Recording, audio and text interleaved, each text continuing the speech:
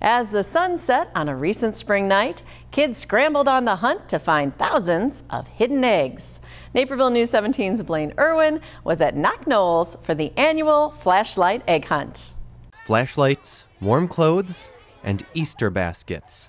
The gear of choice for over 130 kids ready to take on the Naperville Park District's flashlight egg hunt. And once the sky was dark, the hunt was on kids raced to start collecting some of the 2,000 Easter eggs scattered around Knoch Knolls Park. We have a, um, over 2,000 eggs. We have approximately 1,300 uh, bigger prizes in those eggs. So it's uh, you know it's not the traditional little piece of candy or spider ring or what have you. There's some some nicer prizes in there uh, that uh, the kids uh, are vying for.